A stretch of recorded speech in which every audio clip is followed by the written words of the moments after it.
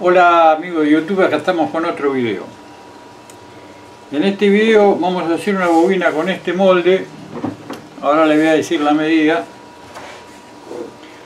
Una bobina que va a tener exactamente 77.56 milímetros. ¿Se alcanza a ver ahí? 77 y medio. Muy bien. Lo primero que vamos a hacer, como siempre, que ya les he comentado, cada vez que hacen una bobina, le ponen un poquito de talco al molde para que después pueda salir más fácilmente. ¿eh? Ahí un poquito de talco así, ¿eh? y le damos acá para que se llene un poquito de talco esto. No mucho, ¿no? Después cualquier cosa lo soplamos un poquito para sacar todo el exceso.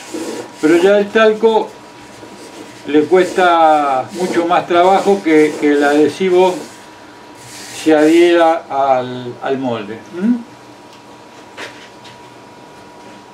Muy bien.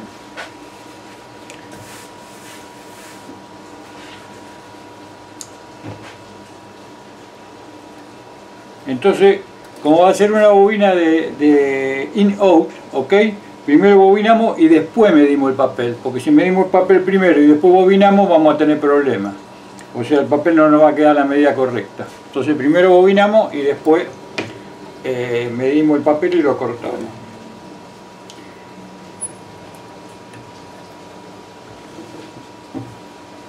Ok. Vamos a la primera capa.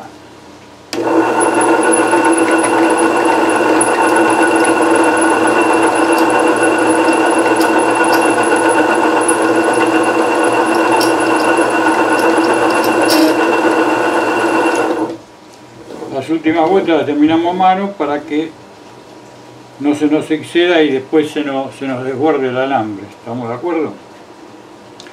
Ok, ahí estamos ya con la primera capa terminada.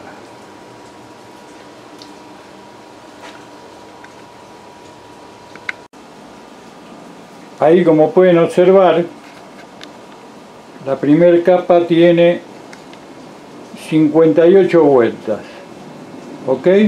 58 vueltas y estamos con un alambre AWG 26 58 vueltas de alambre AWG 26 para la primera capa. Indudablemente la, 50, la segunda vuelta eh, la segunda capa va a tener exactamente lo mismo otras 58 vueltas. Podrá tener 59 podrá tener 60 podrá tener 57 pero más o menos va a estar ahí. O sea va a ser una bobina de aproximadamente 58, pongamos 60 y 60, 120 vueltas de alambre AWG 26. Después la vamos a medir con el tester a ver de qué medida salió. Ok, ahora vamos a cortar el papel para poner acá el, el material base.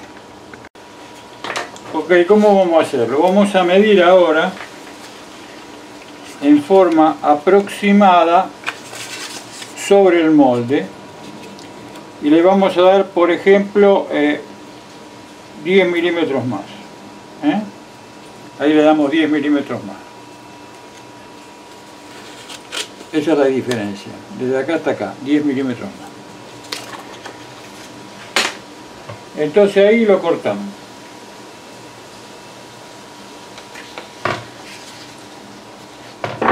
Ahora cuando lo coloquemos acá arriba nos va a quedar más corto. ¿Mm?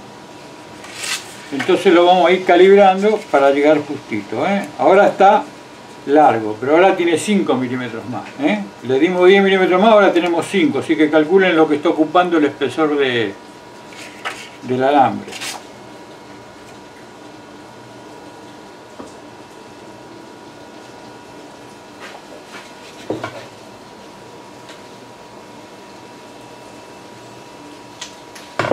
Lo volvemos a refilar.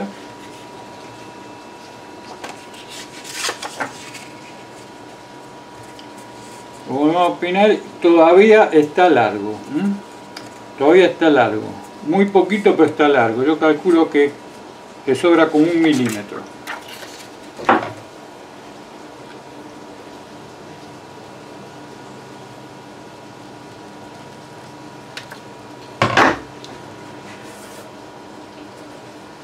esto era más o menos lo que le sobraba.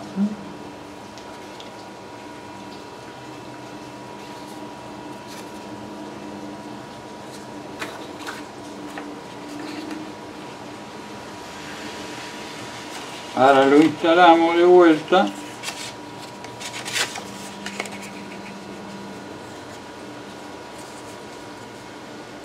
Y ahí estamos ya en la medida.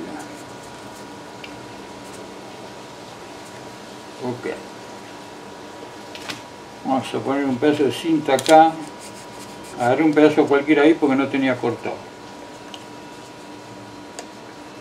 Pero bueno, ahora cortamos unos pedazos de cinta.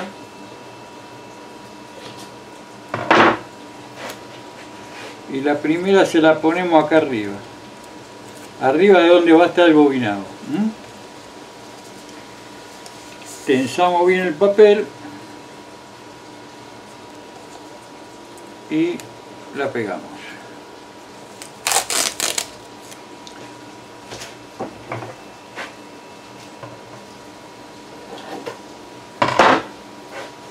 La segunda la colocamos acá.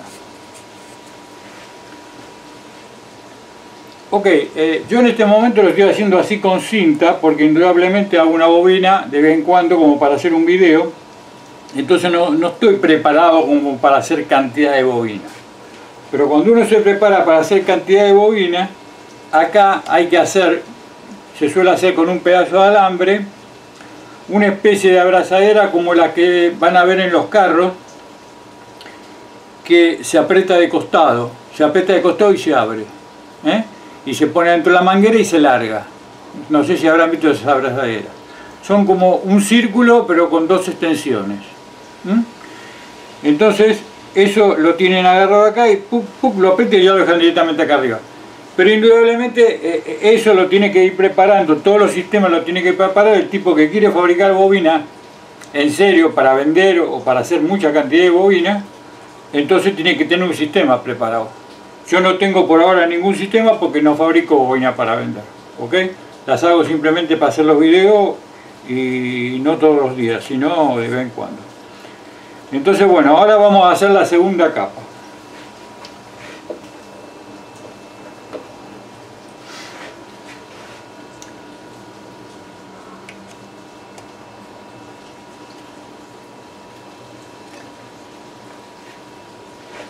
Bueno, también ahora lo que me estoy dando cuenta, que es una cosa interesante,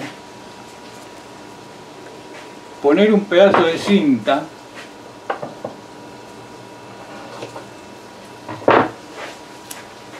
acá entre el molde y entre el, soporte de la bobina y el molde ¿eh? ¿para qué? para que, para que cuando empieza a bobinar, el, soporte de la bobina se tiende a correr. Entonces, esta cinta no lo va a dejar correr. Le vamos a poner una del otro lado también. Y una acá del otro lado.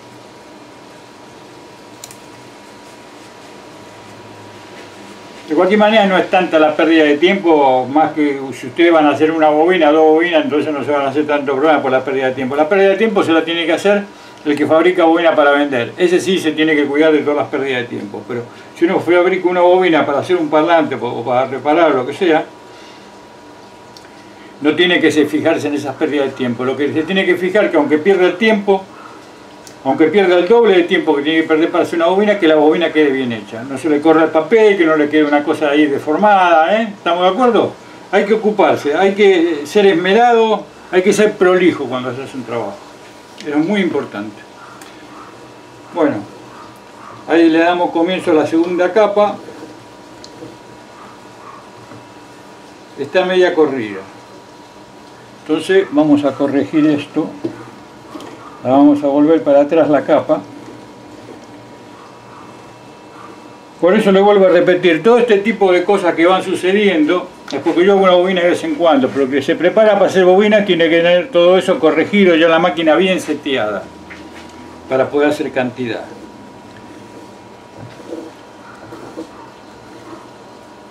Todavía falta un poquitito. Entonces volvemos de vuelta para atrás para corregir esa pequeña diferencia que tiene. Todo eso nos va a llevar a que nos quede una bobina bien terminada.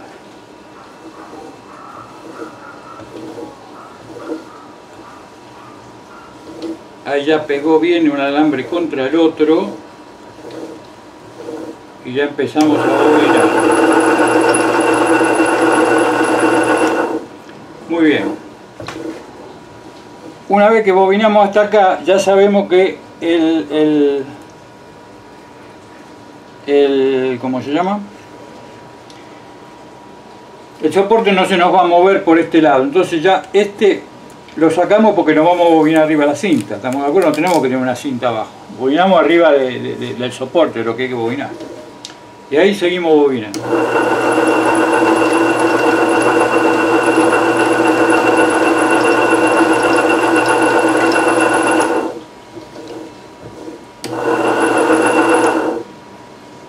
Muy bien, ahí terminamos bobinar. Esta es una bobina un buffer, les quiero aclarar. ¿eh?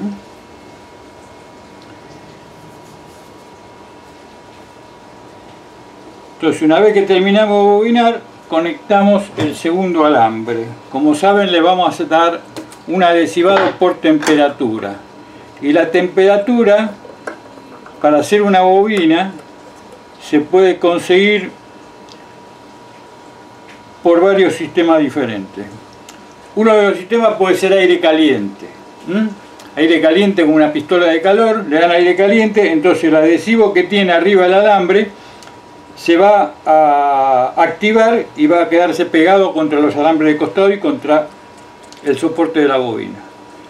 La segunda forma de darle temperatura es por horno, pero para darle temperatura por horno hay que tener la bobina terminada, sacarla y meterla dentro del horno. O sea que no es para este tipo de bobina. Este tipo de bobina es para... O sea, para hacer este tipo de bobina lo que conviene es la tercera opción darle temperatura por cortocircuito controlado. ¿eh? Cortocircuito controlado, que es? Es un cortocircuito que, con el cual la bobina se va a calentar, pero no se va a quemar porque está controlado el cortocircuito.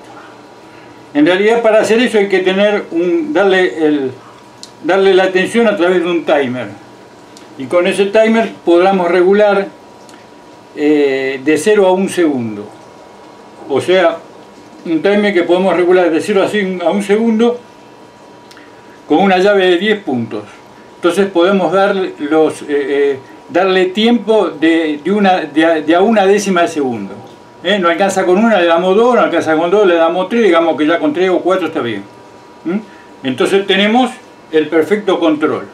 Pero ya le vuelvo a repetir, eso para los que fabrican bobinas. Los que fabrican bobinas se tienen que hacer un temporizador encadenado con un relé, que el relé le dé, corriente a la bobina. Porque la bobina cuando uno la pone en corto consume mucho. ¿eh? O sea, primero que hay que darle como mínimo 110 y 120 volts. Y imagínense, si 120 volts, supongamos sobre 4 ohms, son 4, 10 eh, amperes serían 40, son como 30 amperes que va a consumir. Entonces con 30 amperes le va a quemar cualquier tipo de, temporizado que tenga. O sea, un temporizado que tiene un relé adentro, el relé muy chiquitito, entonces se lo va a quemar. Entonces hay que poner ese relé encadenado con un relé grande más fuera que le dé la tensión. Muy bien, ahora le vamos a dar tensión. Como saben yo esto lo tengo medio improvisado y le doy tensión.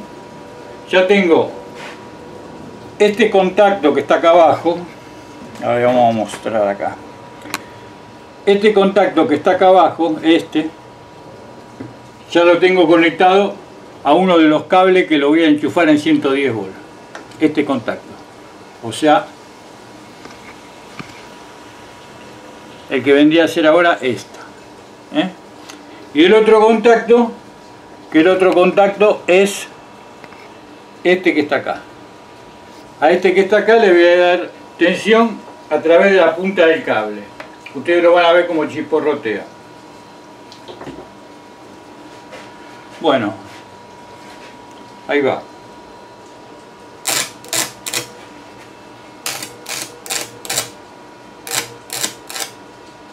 observo la bobina y cuando veo que empieza a humear, recién ahí empezó a humear, ya termino. Muy bien, ahí la vamos a dejar que, se enfríe la bobina y después que está fría vamos a terminar de hacerle todo el proceso.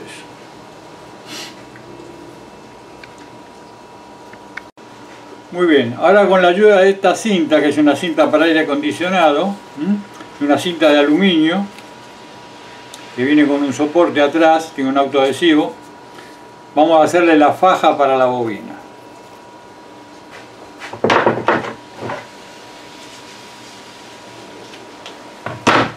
Si compran una cinta de esta para hacer faja para bobina, le va a durar más o menos de por vida. Van a comprar una sola en toda su vida.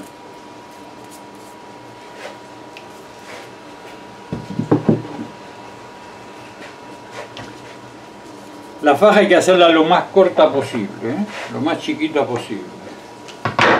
Acá vamos a sacar esto.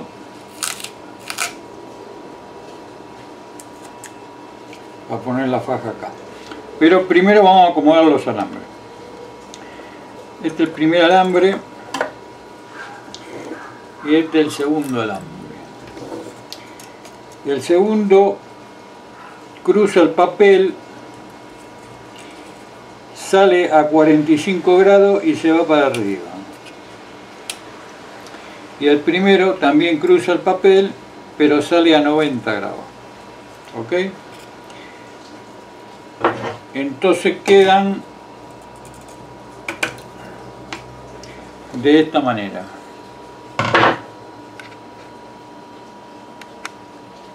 Ahí se ve cómo quedan. Muy bien. Entonces ahora vamos a proceder a cortar la faja. La faja va a ser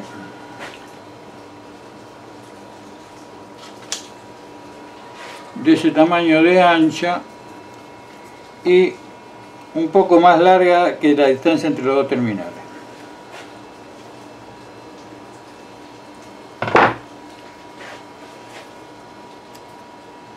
Esto trae un soporte que hay que sacarlo. Este es el aluminio, este es el soporte.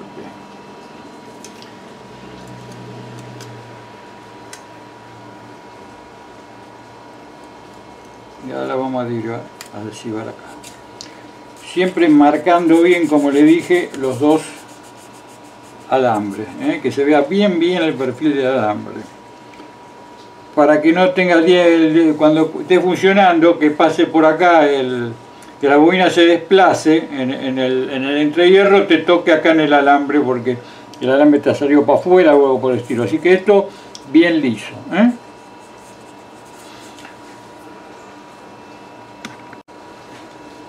ahora sacamos estas tiras que le pusimos ahí se ve bien las tiras como le pusimos para que no se mueva el, el soporte del molde ¿ok? Estas tiras de adhesivo las sacamos. No de adhesivo sino de, cinta ¿no?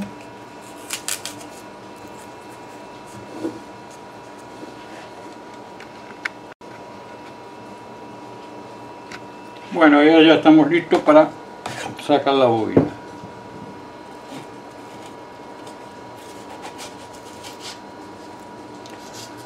Acá tenemos la bobina terminada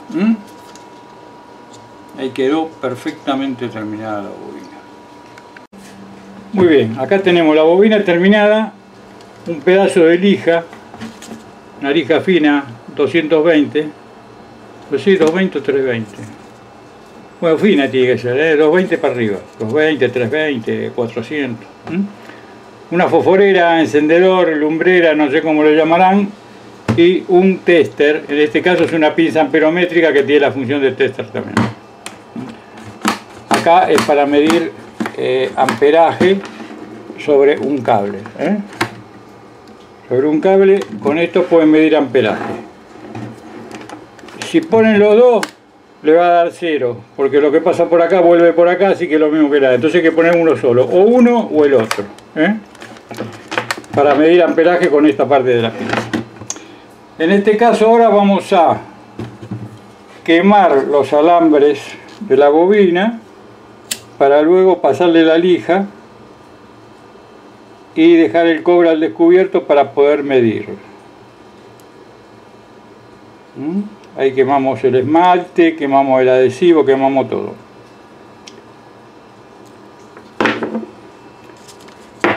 Ahora cortamos un pedazo de lija, más o menos así, lo doblamos por la mitad, así, y lo doblamos mejor así primero y después así, para que no se nos patine. ¿eh?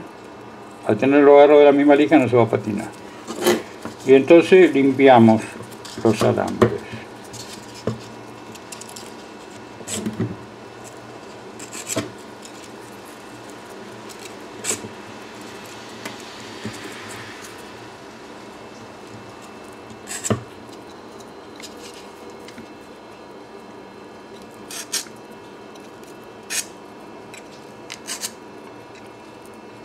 Hasta que nos quede el cobre bien de color cobre.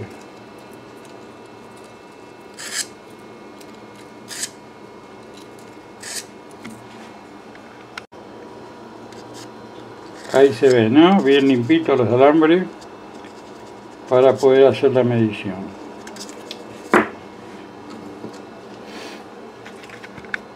Muy bien, ahora encendemos el tester, lo ponemos en ON por 200.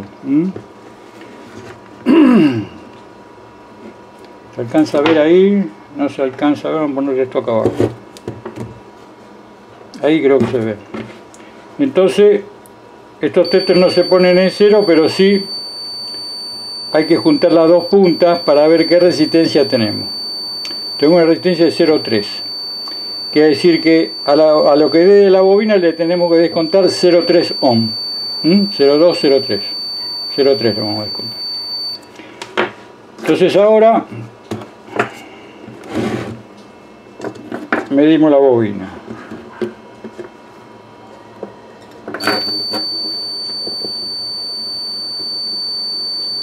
Da 4,5. A ver si se lo puedo poner bien acá para que lo vean bien.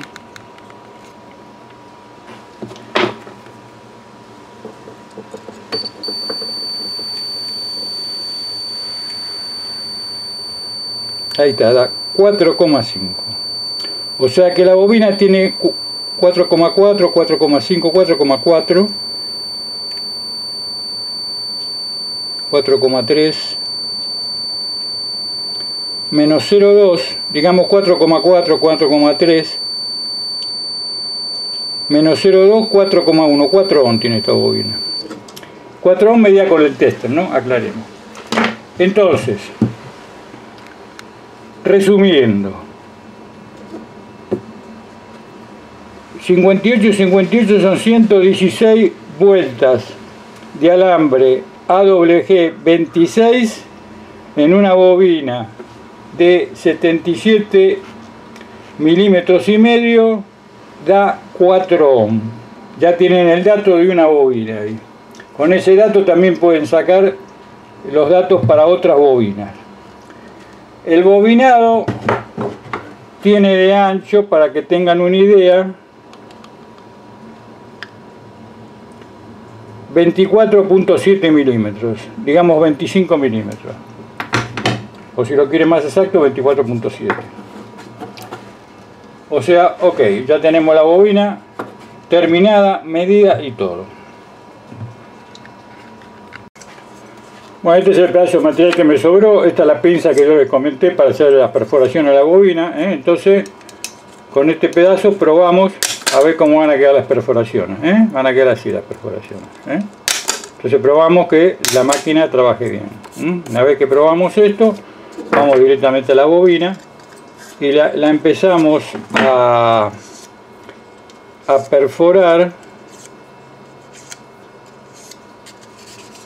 Acomodamos bien los alambres para que quede prolijita.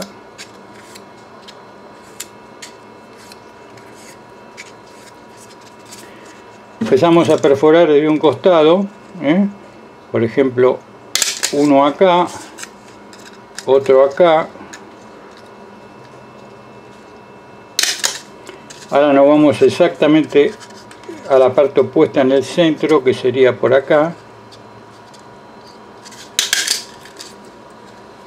Entre agujero y agujero otro. Más o menos por acá otro acá en el medio otro acá en el medio otro acá en el medio y el último acá en el medio ¿Mm? ahí nos quedó la bobina bien prolijita bien terminada dentro y afuera una faja bien colocada ya los, los, alambres bien limpitos ya listos para soldar ¿Mm? indudablemente como yo le digo siempre esta bobina hay que hacerle un baño de inmersión ok entonces le vamos a hacer el baño de inmersión para que vean también cómo se hace, así la ven completamente terminada. Acá tenemos el barniz, que es un barniz a base poliuretano clear. Entonces con este barniz le vamos a hacer el baño de inmersión a la bobina. Muy bien, antes de hacerle el baño de inmersión a la bobina le vamos a dar temperatura con un secador de, cabello. ¿eh? Con este secador de cabello le vamos a dar temperatura a la bobina.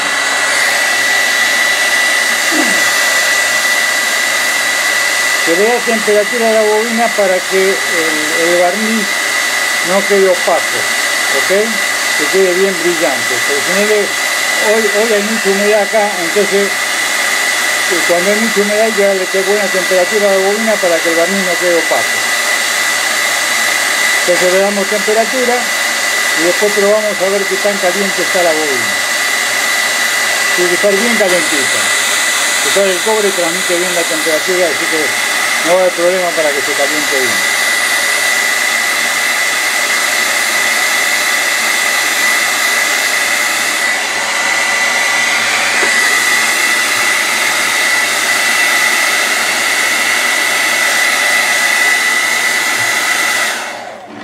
Ya tiene buena temperatura sin dejar que se enfríe ni nada por el estilo va para adentro. Y afuera a colar.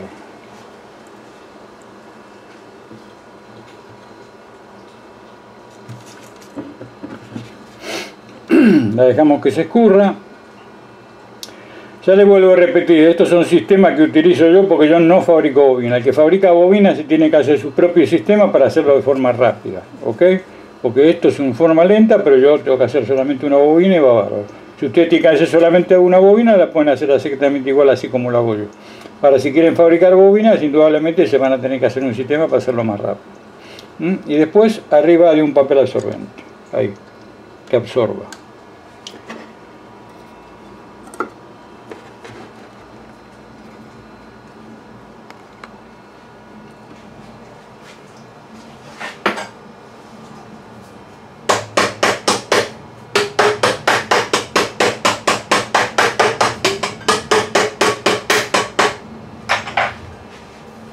Acuérdense de cerrar bien la lata para que no se le evapore el barniz.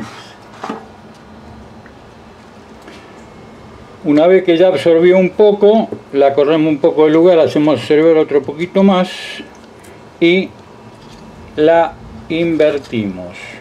Ok, damos vuelta a esto y la invertimos ahí. Esto conviene dejarlo secar por lo menos, por lo menos, por lo menos Depende, si hay mucha humedad o hace mucho calor, todo depende del clima también, ¿no? Indudablemente.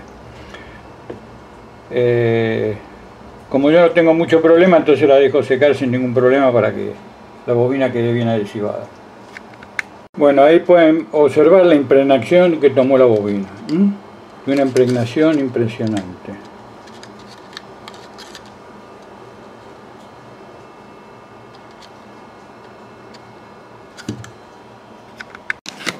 Muy bien, algunos de los que vieron mis videos me preguntaron, que me dijeron que querían ver la máquina de hacer bobina.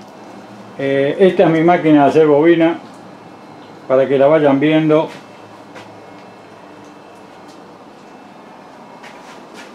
No tiene nada del otro mundo, es un motor que está acá con una polera, acá un volantín, acá un porta rodamiento, que en realidad no tiene rodamiento, tiene buje esto.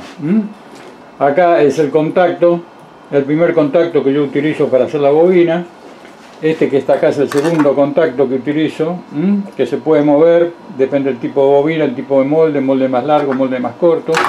Este es un sistema que utilizaba cuando hacía la bobina en base de alcohol. Ya más adelante voy a empezar a volver a hacer de vuelta eh, bobinas con alcohol. Esta es la llave de encendido.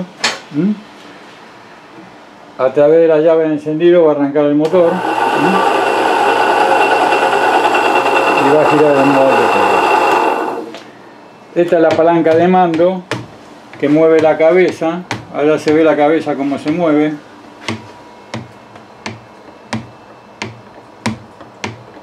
A través de, esta varilla que tiene acá. Través de esa varilla se mueve la palanca de mando. Eh, la palanca de mando a través de la varilla mueve la cabeza. ¿eh? Ahí tiene una rueda por donde pasa el alambre.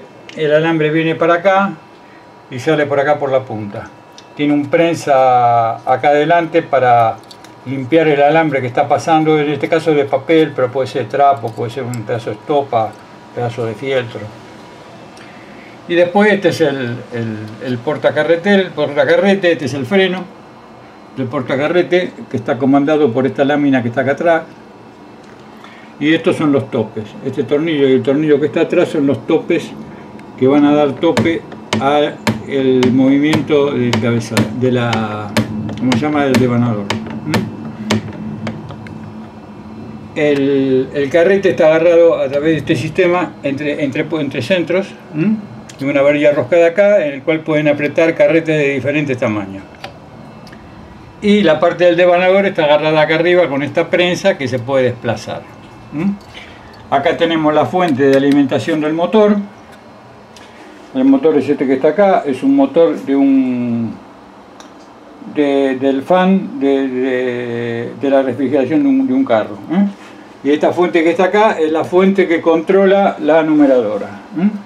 Ahí tiene la numeradora, cuando esto está andando, se da la numeradora como va pasando. ¿eh? Esa es la numeradora. Y ahí paramos y a través de esta llave la numeradora vuelve a cero.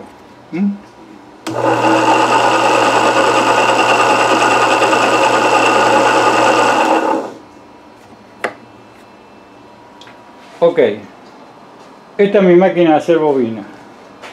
Le voy a dar un poco las medidas para que tengan alguna idea.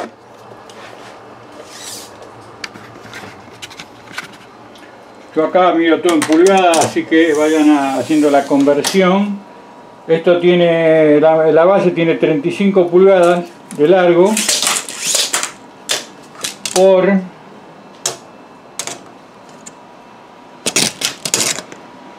por 15 pulgadas de ancho. Y después lo demás no lo pueden hacer de la manera que ustedes quieran para que le coincida el alambre cuando vienen que pase por el molde exactamente en la tangente y a 90 grados del molde, ¿ok? Cuando va por un lado y cuando va para el otro, exactamente lo mismo. Tiene que pasar por la tangente y a 90 grados del molde. Eso háganle algún tipo de regulador para poder, poder ir regulándolo. Esta es la llave de encendido del motor que puede estar acá, puede estar en cualquier otro lado. Y bueno, acá tiene una correa, no tiene nada del otro mundo esto. Ahí la pueden ver. La persona que realmente le interese hacerse la máquina, con esto ya tiene suficientes datos como para hacérsela. La base tiene 15 pulgadas por 35 de largo. 15 por 35 y después los componentes los pueden acomodar donde ustedes quieran. Donde no les moleste la acomoden ya. La numeradora lo mismo. Yo la puse ahí pero la pueden poner en el lugar que quieran el motor por lógica tiene que estar alineado con el, con el porta rodamiento con el portarrodamiento alineado y la polea, o, sea, el volantín alineado con la polea del motor. Ese es el único misterio que tiene esto, después no tiene más misterio. Acá, va, acá hay tiene una leva, a ver si se la voy a hacer funcionar para que la vean. Ahí tiene una leva, ¿la alcanzan a ver? Esa leva que está ahí, que está pegada al volantín, es la que mueve el contacto que está abajo por el cual salen los dos cables.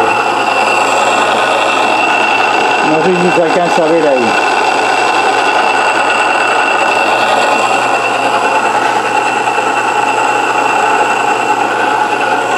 Eso es lo que controla la número 2. ¿Mm? Y acá la ponemos a cero. Ok, eh, acá los, los, mis suscriptores o mis no suscriptores, porque yo no hago diferencia ni con mis suscriptores ni con mis no suscriptores. Me gustaría que los que no se suscriben, que ven mis videos, que se suscriban, porque es interesante para mí. Aparte porque le estoy ofreciendo un conocimiento que nadie se los ofrece. Yo soy el único que ofrece todo este tipo de conocimiento en relación a las bobinas de parlante. Nadie le ofrece absolutamente nada de eso.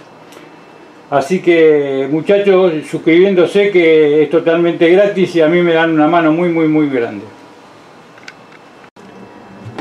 Muy bien, acá tenemos la bobina terminada. Acá la pueden observar como quedó impregnada completamente, tanto de adentro como de afuera, por lógica porque fue por inmersión. Quedó bien lisa la bobina, con su faja bien colocada y ventilada.